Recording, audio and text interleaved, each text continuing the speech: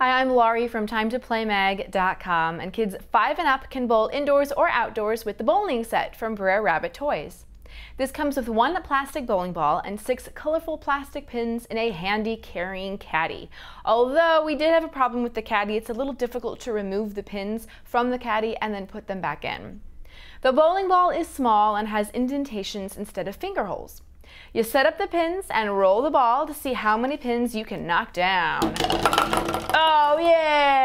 This encourages active and competitive play and it's a fun way for young bowlers to practice their skills. This also includes a developmental guide that helps parents understand the skills a child will have at different ages. If you want to find out more information on this set, such as how much it costs and where to buy, then come visit timetoplaymag.com, your number one source for all things play.